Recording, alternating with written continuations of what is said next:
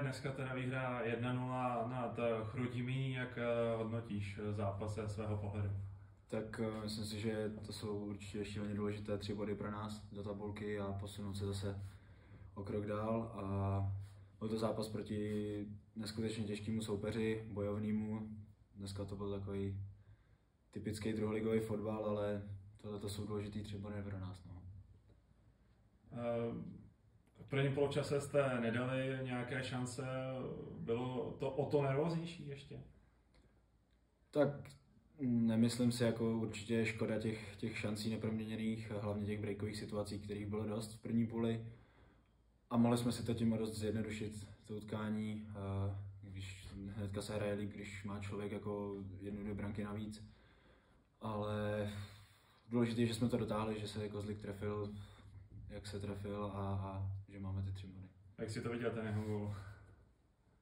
Tak já už jsem jenom dobíhal na půlku v tu chvíli, já jsem tam měl asi dva bazény předtím, takže jsem to jenom sledoval, ale, ale jako tam vlastně předcházela Šebova krásná individuální uh, akce, kdy vlastně se uvolnil přes dva, tři hráče, pak mu to posunul a Kozlik se taky uvolnil a dokázal to krásně obstřelit proti fantastickému brankáři, který ho Chrudim má, takže skvělý.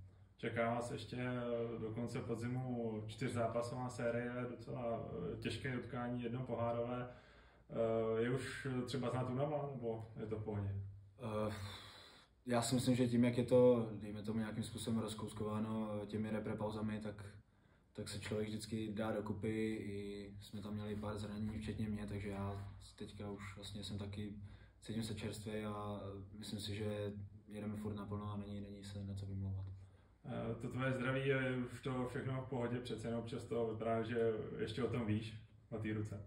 Eh, teďka jsme se o tom akorát bavili s asistentem, ale myslím si, že v pohodě všechno cítím se jako stoprocentní a, a je to každým, každým utkáním, každou minutou i na tréninku je to lepší a lepší to sebevědomí vůči tomu